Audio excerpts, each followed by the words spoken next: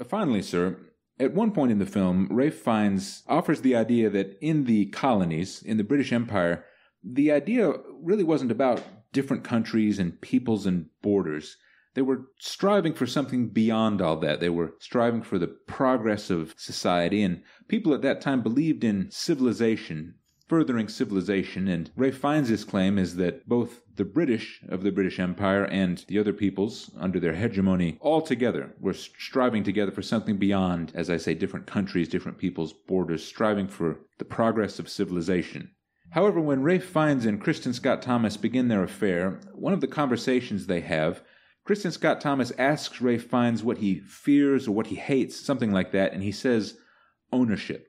He hates the idea of being owned by someone or of owning somebody else.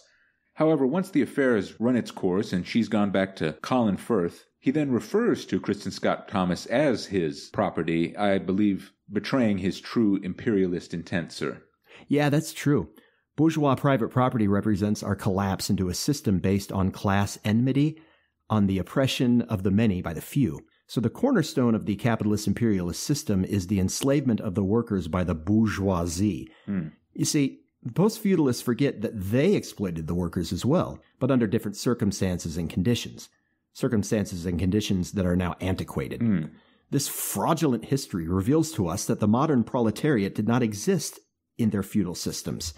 Indeed, as the bourgeoisie emerged from the ruins of feudalism, they themselves begat the proletarian class. Oh. So the Americans forget that the bourgeoisie of today is the inevitable outcome of capitalist imperialist society as it progressed out of feudalism. Yes, sir. Yes, and clearly, that's what the English patient is all about.